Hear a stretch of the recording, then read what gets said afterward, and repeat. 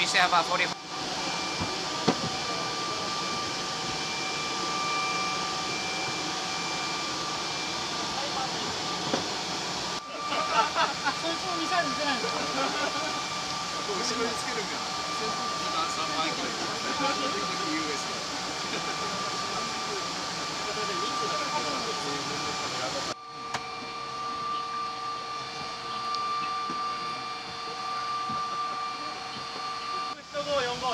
H30 の2.7時間の予定で行動します気象については天候については観測ガイドの時とほぼ同様です。風については北東風北重のと前後エリアについては裁判俺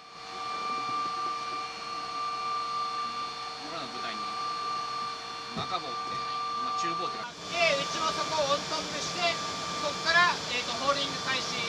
で時間になったところでえっ、ー、と2水球前後および2000突き当たりの広がる予想があります。遠慮の飛行中も雲入る予想がありますので十分同様に注意してください。はい、えー、KO については離陸後 FR で4000フィート、えーファルコンというポイントを経由してエリアに侵入していきます。その後エリアワークをおよそ1時間15分えー内容については今コパイロットからあった通り実施します。えー、と朝丹野さんからもあった通り、えー、ボイスが作動しますのでクリーン自体よくモニターするようになお